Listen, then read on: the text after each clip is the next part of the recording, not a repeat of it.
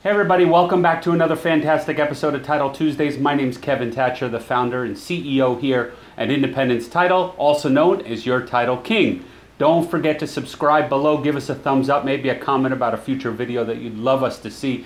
We're always looking for educational topics that we can learn about and hopefully deliver an added value video. So today we're going to be talking about a first timer's guide to title insurance. So what is title?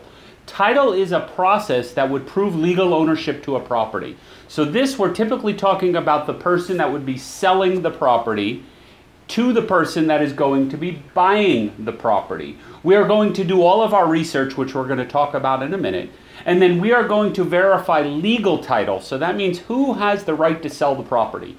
Most importantly, when we transfer title to the buyer, we're issuing a title insurance policy to ensure that buyer that they have the right to use that property free and clear of any liens or encumbrances. It's very, very important. So just as important as us doing the homework to verify the ownership, it's equally as important to make sure we're transferring title correctly to the buyer.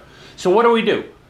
We are an escrow company. On top of issuing title insurance, it's usually called title and escrow. Escrow means the money. We handle and facilitate the uh, deposit and disbursement of closing proceeds for a closing. So it always starts with a deposit.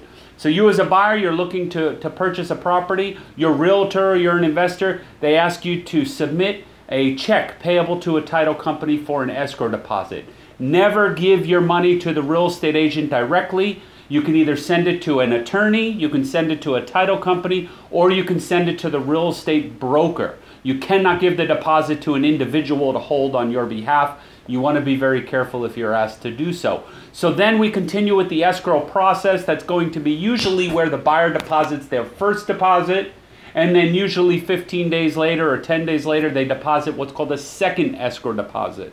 These are good faith deposits based on the buyer to facilitate the, con- the remainder of the contract and make sure they, they uphold their part of the terms of the contract. And then as we get a little bit closer to closing, if you're a buyer getting a loan, the lender will send us their money and then we do our disbursement. So we get escrow in and now we do escrow out. Escrow out is going to be paying uh, lien, any liens that are on the property, paying the seller the money that they're due for selling the property, real estate agents for the commissions that they've earned for, for facilitating the transaction, maybe any refunds to a buyer, doc stamps and intangible tax to the state and the county, uh, and any other things that may come up on, on title to the property, we take care of and handle dispersing all of those proceeds. So now let's talk about a title search. What is a title search? A title search is a search of the public records where the property is located. So whatever county that property is located in, we run an automated search with software to determine if there are any open liens, judgments, any clouds on title, foreclosures. It could be mortgages that are out there. It could be um, personal judgments against the owner of a property. It could be cross contaminating code enforcement liens. Any lien that would affect the title to the property is what we're going to be searching for with what? A title search. Then we're going to move over to a lien. What is a lien? A lien is when someone has the right to an interest in the property. So a lien could be a mortgage that, that the person selling the property took out when they bought the property. It could be a second mortgage or what we sometimes see as called the home equity line of credit. Or it could be a lien for maybe unpaid association dues, unpaid mortgage payments. It could be an IRS tax lien.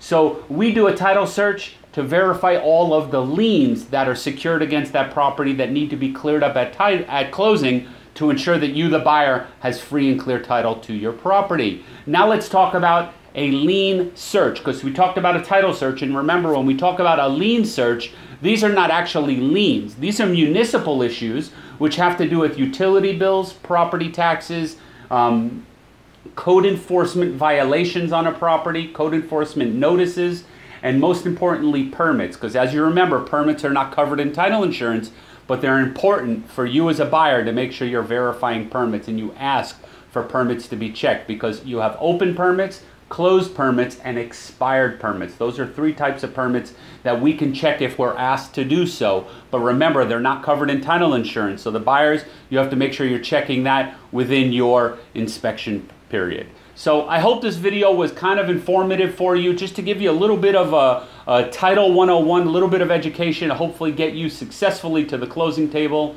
As always, we look forward to working with you. If you have any questions, feel free to call our office. We'll be happy to answer any topics that we talked about today. But remember, there are many different types of searches. You want to make sure you're dealing with a reputable title company that has been in business for many years and that is backed by a national underwriter to make sure you are free to own that property. So, as always, my name is Kevin Tacher, the founder and CEO here at Independence Title, and I look forward to seeing you at the closing table.